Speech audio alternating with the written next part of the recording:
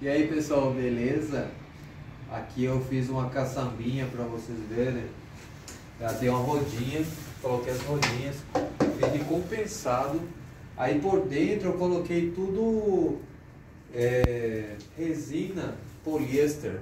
Aí ele cabe certinho meu rolo aqui, ó. Ele cabe certinho, até sobra espaço.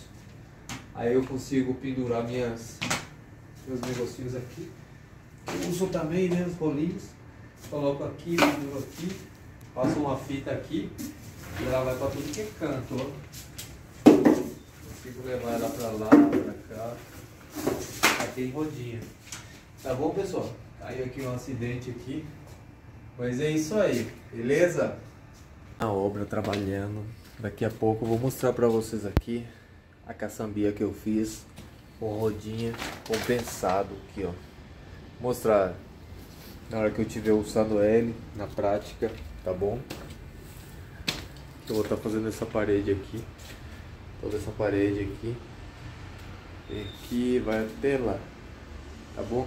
Vou estar tá fazendo aqui para você estar olhando como que funciona essa caçambinha. Aí mais uma coisa, antes de que eu esqueça, vou estar tá usando o pad que esse pad aqui, vou mostrar pra vocês aqui. Pra fazer essa sanca aqui, ó. Como que funciona muito rápido, cara. Pra fazer toda essa sanca. Até lá no fundo.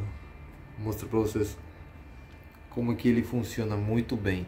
Aí eu vou falar também aonde que ele não funciona, beleza? No caso desse aqui, é uma sanca, ela é muito funda. O certo é usar onde tem a rodinha, certo?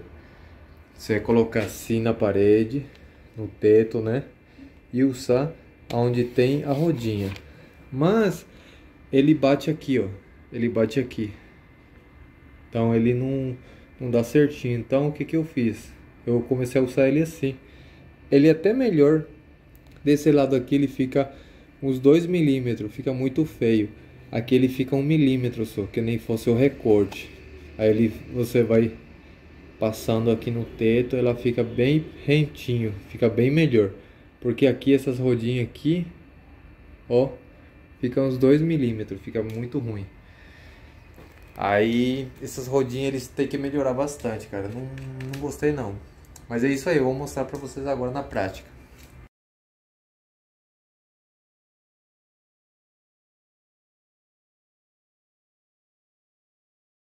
Foi muito rápido, muito mesmo, não deu nem para ver direito.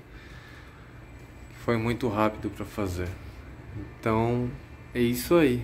Levei um minuto para fazer isso. Aí agora eu vou fazer esse recorte aqui. Já coloquei a fita, né? Já calafetei com massa. Aí agora eu vou fazer o recorte tudo certinho e aí vou meter tinta aqui. Beleza?